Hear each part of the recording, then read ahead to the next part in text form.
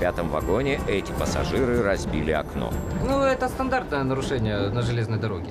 Просто вот в вагонах жарко, а стекла очень плохо открываются. Да, и поэтому у людей, когда заканчивается терпение, они просто разбивают стекло. А мы уже приходим и фиксируем это правонарушение. Здравствуйте. Вы видели, кто стекло разбил? Видел? С одного удара окно разбил. Красава, Леня. Будет теперь чем дышать. А чё, какие-то проблемы, командир? Нет, нет. Никаких проблем. Описать смогли бы его?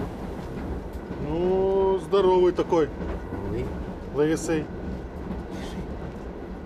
Татуировка на плече. Вот татуировка, это важно.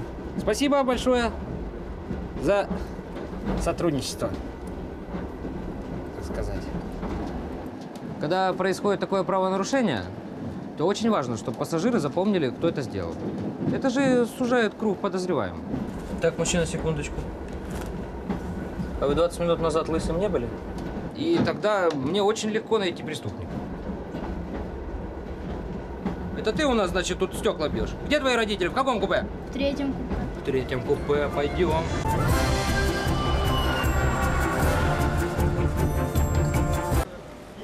Если тебе понравилось это видео, лайкай, комментируй, отправляй друзьям. Ну и не забудь подписаться на наш канал. Все, я поехал.